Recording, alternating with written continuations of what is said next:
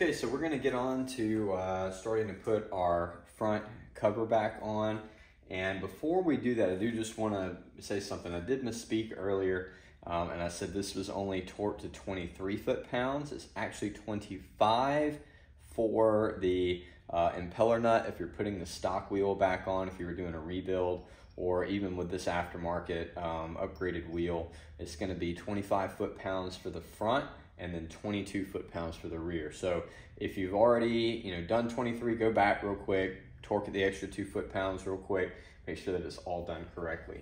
So um, we're gonna start getting ready to go ahead and put the front cover on and we're gonna use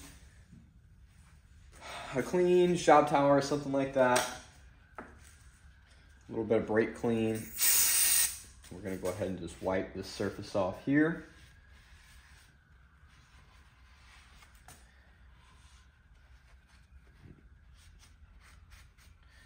Sure everything's nice and clean. We'll do the same thing to the actual front cover. Um, and before we start to put any kind of gasket maker on anything like that, I'm gonna go ahead and put in our new pins.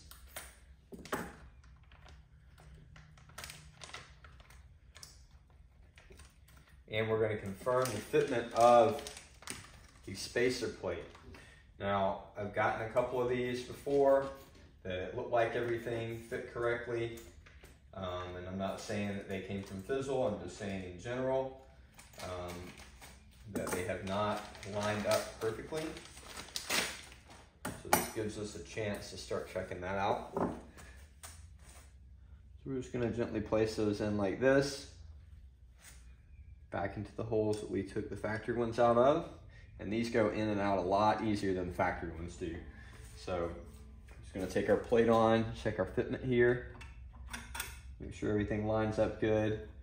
And what I'm talking about with a fitment is I've seen ones come through that this lip was considerably higher up. So there's a little bit of a gap here, um, but that's not going to affect anything. But I've seen them sit way up like that, or you know the groove of this, this little uh, dimple that's right here um, it would stick way beyond that. So wanted to grind that down and keep it smooth with the, uh, the factory housing shape. But everything on this one looks to be really good. So we're just gonna proceed on with uh, applying our gasket maker to the spacer. We're not gonna apply it to the back cover and the front cover. We're going to apply it to the spacer. So we'll move the camera over, show you how to do that real quick. So here we are with our spacer and we're just gonna take some gasket maker here. You can use ultra black.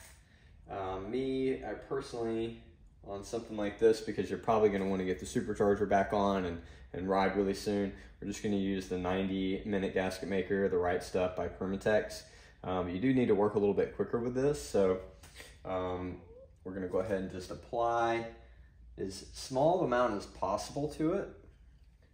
So we don't want to get too heavy with it. And the reason we don't want to get too heavy is if we put too much on it, once we compress everything back on it, we can have excess that'll you know, come off, it can pinch off, and over time of the, uh, the boost pressure building up in it, it can break off some of those pieces and get sucked up through the engine. So we really don't want to have to uh, deal with any of that. So again, we just want to use as light of an amount as possible. And we're just going to go around. And we're gonna end up just smearing this with our finger.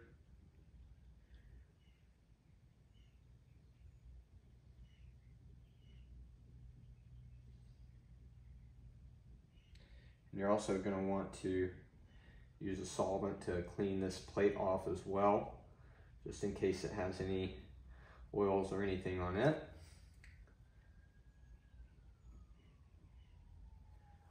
So we'll just take our finger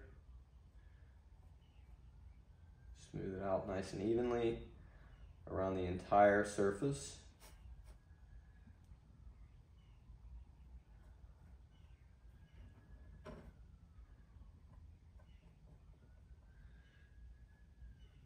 It's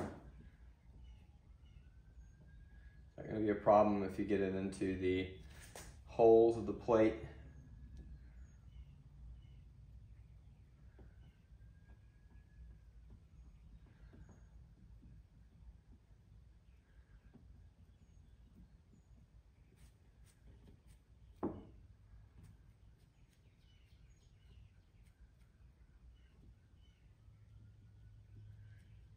See, I really don't have a whole lot on there.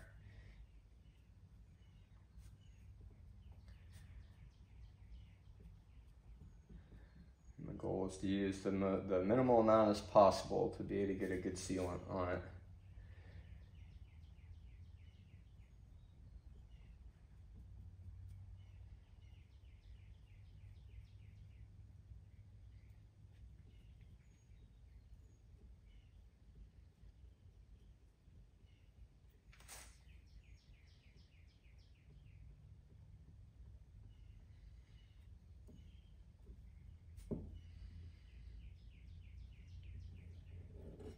You can see as I'm wiping that inside lip there, some excess is coming off.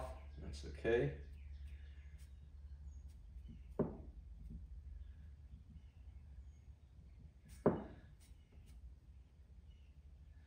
Once we make sure we've got everything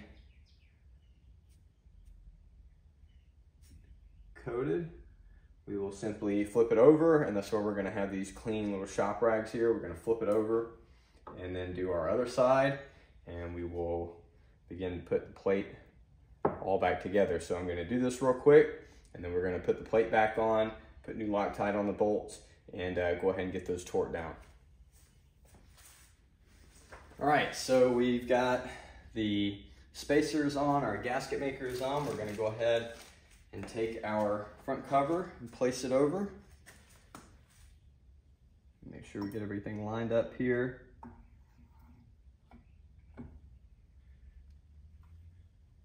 Seats in correctly. Okay, so we've got a torque sequence that we have to do, and I'm gonna show that to you guys here. So this is the torque sequence, and everything's supposed to be done to 96 pound inches right there. Uh, I'm just gonna do 100, just round it off to 100. It makes it way easier. It's not gonna be, it's hardly any extra torque on it. So we're gonna start one, two, three, four, five, six, seven, eight, nine. So Loctite, it's already been put on these. Just gonna put these in gently at first.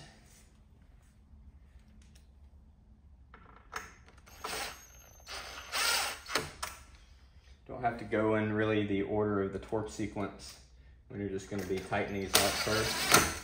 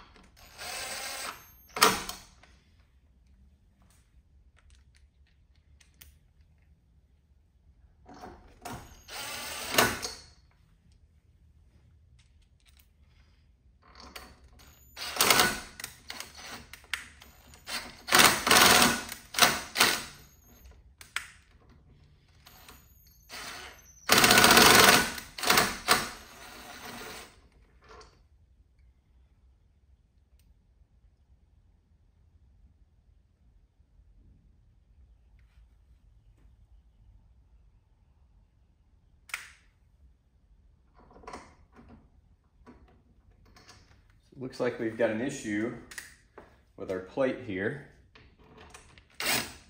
We're gonna back some of these off. And this is why I like to do this stuff in real time because not everybody gets to see exactly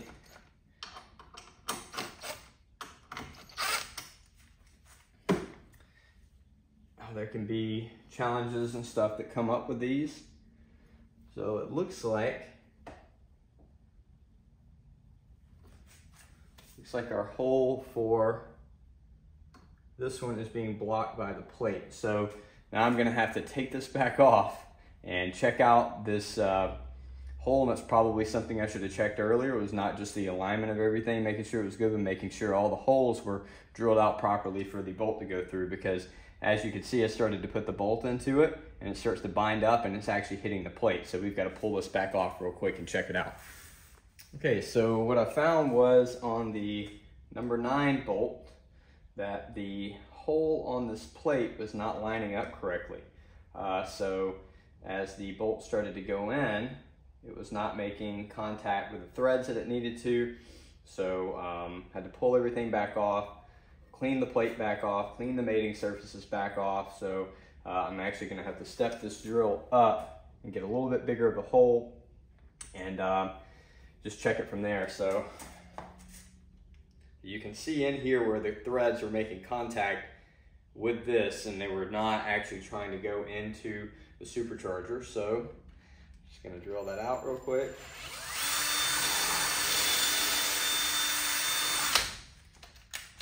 when you do this, if you have to do it, you wanna step up, take off the least amount as possible.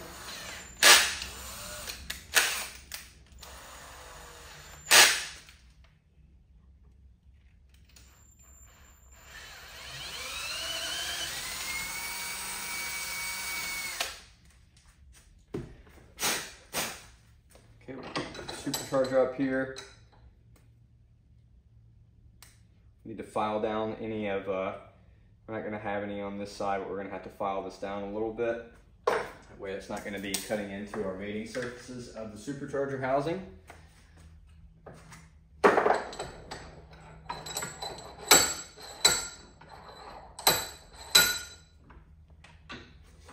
Plate back on and we'll check our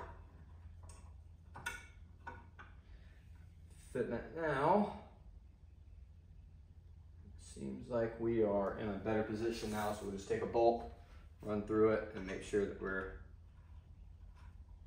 able to thread that in easily. Okay, so there we go, problem resolved. And again, like I said earlier, this is kind of why I like to do these in, in one go rather than chop and editing and as great of a company as Fizzle is or Riva or anybody, there can always be some minor thing that is out of tolerance. It's just gonna throw everything out. So, you know, probably something that we should have done earlier was go ahead and put this plate on and check those holes and make sure that everything lined up. I've not had a problem with this before. So, you know, as long as everything around here looked good, everything from the, you know, visual inspection initially looked like everything was good, but once we started to put it in, you know, we had a bolt that started to bind up and obviously we got a brand new supercharger here. We definitely don't want to try to chase that thing through and just strip our threads out. So um, I went ahead to and just chased those threads just in case it did, you know, bite on a couple of the first ones and, and mess them up. So uh, I'm gonna pull the plate back off now, uh, clean the bolts up because they've got some sealant and stuff on them, put new Loctite on them, put new Loctite, or I'm sorry, put new gasket maker on the plate and, um, or the spacer, and then we'll put everything back together. Got everything on, we're just gonna go ahead and start tightening everything back up.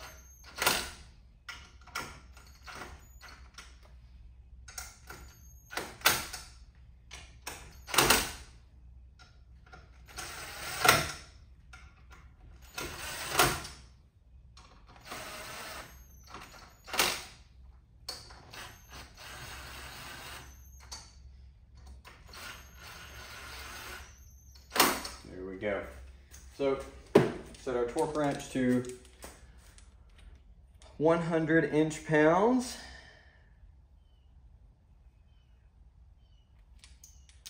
We'll do our sequence that was provided. So number one is right here.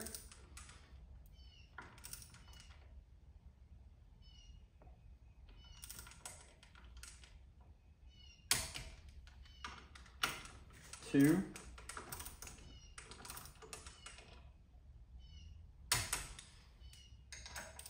three, four,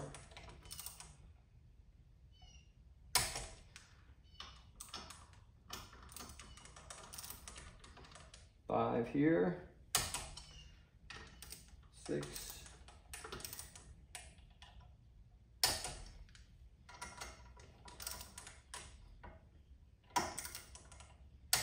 seven, eight,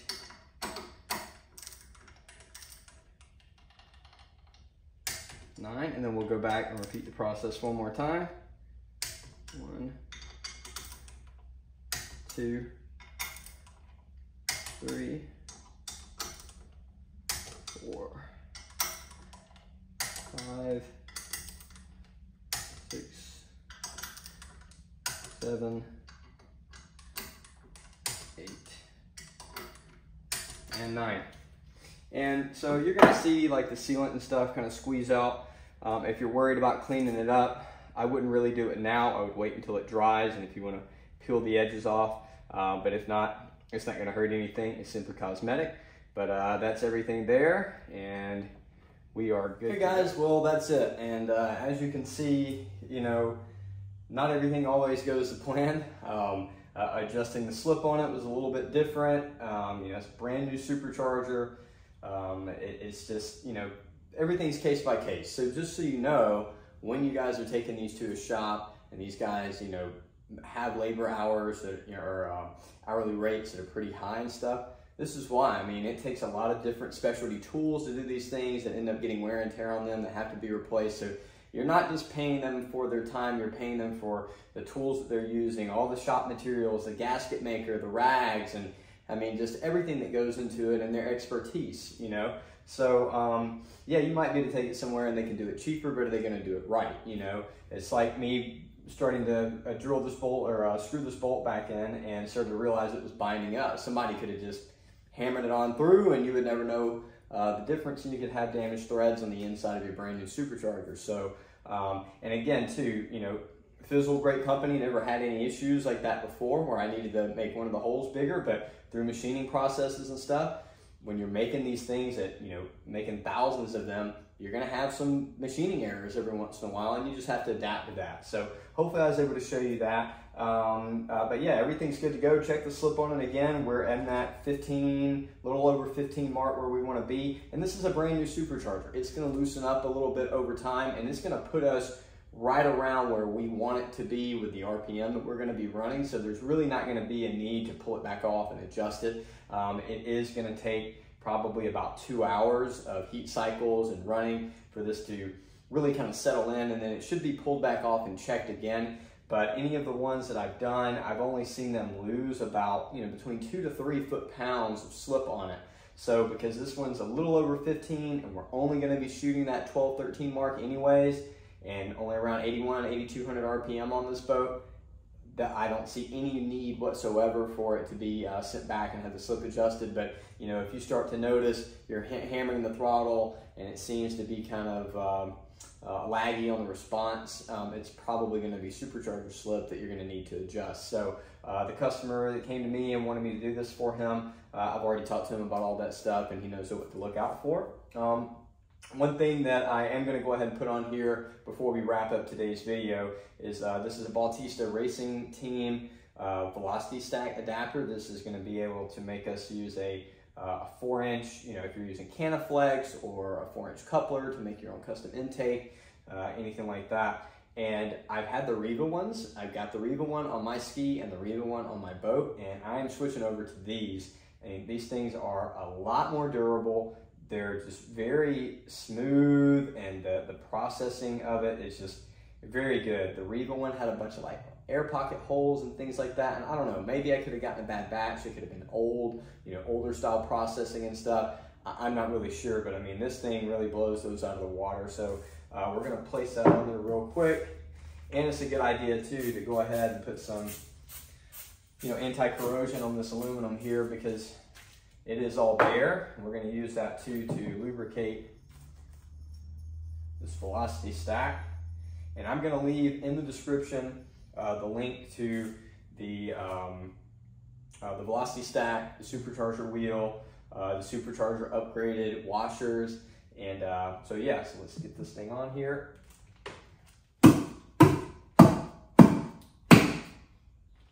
There you go. So you can see now we've got a nice smooth transition from four inch into here. I mean, this thing is really, really nice. And like I said, I've got two of them on the way now. So uh, shout out to uh, Bautista Racing Team for taking care of me on a couple of things. And I've got something coming up soon for my 300. Uh, from them, we're gonna be installing a water temp uh, sensor to determine what kind of you know lake temp or uh, water temps I'm riding in. I'm going to be putting that on my RXTX 300 because they don't have anything like that on those from the factory. So he's got a nice kit. uh, send it over to me. I'm going to be installing that one too. That's going to be uh, probably one of my future videos here pretty soon. And sorry if this was a lengthy one. Again, I like to make this stuff look real time and you know, as detailed as possible and show, you know, not only the end result, but the hurdles that you have to overcome through any kind of project that you might be taking on yourself. So I hope that you all enjoy the video. Please give me a like and subscribe, and we'll see you next time.